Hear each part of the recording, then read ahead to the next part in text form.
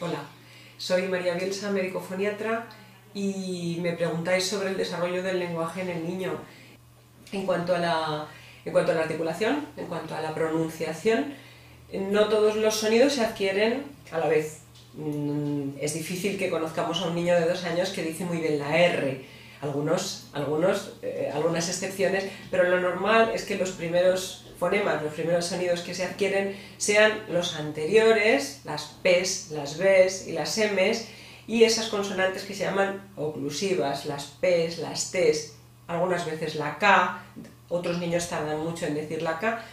y posteriormente van apareciendo otros fonemas que requieren un poquito más de complejidad en los órganos, las L's, las Ch's, las F's, las Z's, eh, consideramos normal que entre los 4 y los 5 años el niño ya tenga todos esos fonemas adquiridos y los últimos, generalmente los últimos, porque hay niños más pequeñitos que dicen antes eh, sonidos más complejos, los últimos suelen ser la R doble, la R fuerte y las lo que llamamos consonantes trabadas, tra, dra, bra, eh, fruta, premio, gracias, broma, pluma, globo, hablar, esos sonidos BL o BR son los más complejos, requieren una finura mayor una precisión articulatoria y normalmente hasta esa edad de 4 o 5 años el niño no tiene por qué adquirirlos y se considera madurativo, se considera que es normal, entra dentro del desarrollo normal. Entre los 3 y los 4 años hay algunos niños que empiezan a tartamudear y empiezan a tartamudear mm, generalmente por esa incapacidad de que sus órganos eh, sigan el ritmo tan rápido del pensamiento que los dirige. Eh, no hay que asustarse, es una tartamudez que se llama la tartamudez del desarrollo o tartamudez fisiológica. El niño normalmente o alarga alguna vocal o alarga algún sonido, a veces repite como una metralleta, popo, popo, antes de empezar a hablar. Normalmente lo hace con mucha naturalidad, no se pone nervioso eh, y no se asocia a una conducta de tensión, de tensión eh, además. Quiero decir con esto que el niño lo hace con naturalidad y no se bloquea ni hay tensión en los órganos. Cuando hay tensión, es decir, cuando aparecen eh, bloqueos respiratorios, cuando aparecen tics o movimientos asociados en la cara, cuando aparecen movimientos en los brazos o en las piernas y verdaderamente estamos viendo que el niño eh, está angustiado porque no, sabe arrancar o no puede arrancar,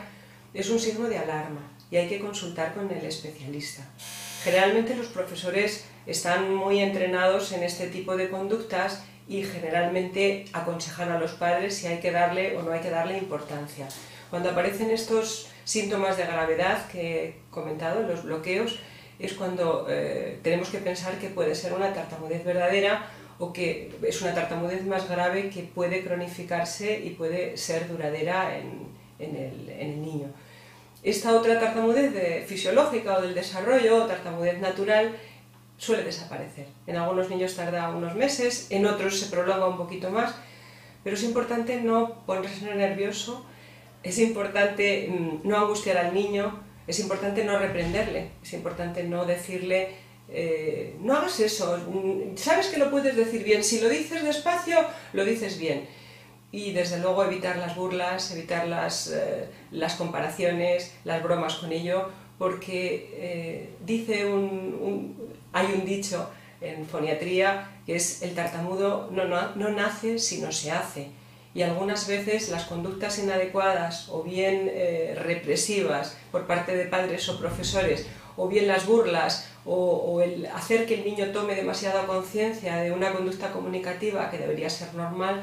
hace que eh, eso se cronifique y hace que aparezcan mm, problemas secundarios que agravan la tartamudez. Como he dicho antes, los bloqueos, la tensión asociada, los tics, los movimientos, etcétera, son signos de gravedad. Hay que consultar siempre al especialista que si es una tartamudez del desarrollo va a tranquilizar a los padres, va a daros unas instrucciones de cómo hablar al niño y cómo no hablarle, qué hacer y qué no hacer. Y desde luego eh, es importante el seguimiento de este niño para ver cómo evoluciona.